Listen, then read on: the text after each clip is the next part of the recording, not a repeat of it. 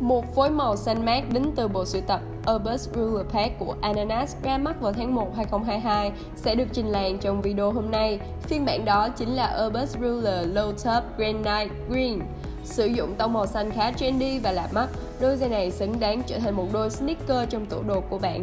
Phần upper bờ của giày làm từ chất vải canvas khá thoáng khí, Lưỡi gà có logo nhà dứa như một điểm nhấn cho đôi giày, lót trong khá dày và êm.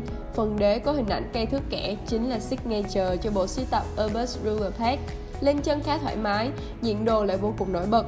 Các tín đồ nghiện tông pastel chắc hẳn sẽ nảy lên trong đầu mình vô vàng ý tưởng mismatch. Cùng ginh cây thước xanh về nhà để đánh dấu cho hành trình mình thêm đặc biệt bạn nhé.